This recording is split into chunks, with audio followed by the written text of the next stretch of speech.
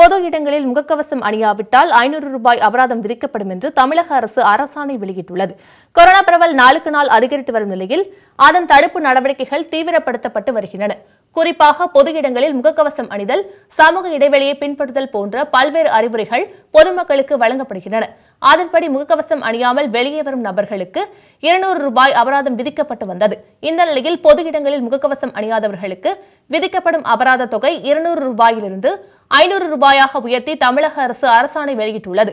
மேலும் முகக்கவசம் அணியும் போது மூக்கு மற்றும் வாய் ஆகியவை மூடியிருக்கும்படி இருக்க வேண்டும் என்று தெரிவிக்கப்பட்டுள்ளது.